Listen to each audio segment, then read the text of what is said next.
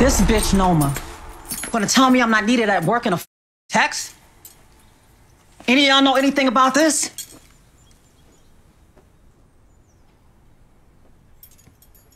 I can't even believe y'all. Ma, she say you can come back when you're 100%. Yeah, she just wants you to rest. That bitch don't give a shit if I'm rested or not. And I'm starting to think y'all want me out the game too. Yo, Ma, calm down. Now I'm not calming down, Dru. You passed out the other day, remember? And almost up our shit with the Russians. What if it happens again and nobody's around to help like last time? Please, I got shot up and now I'm being treated like a dummy that don't know how to handle myself. This is some bullshit.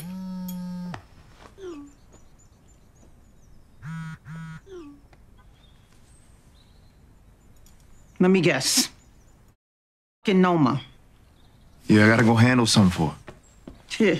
You ain't special, nigga. You gotta handle shit too. Uh huh.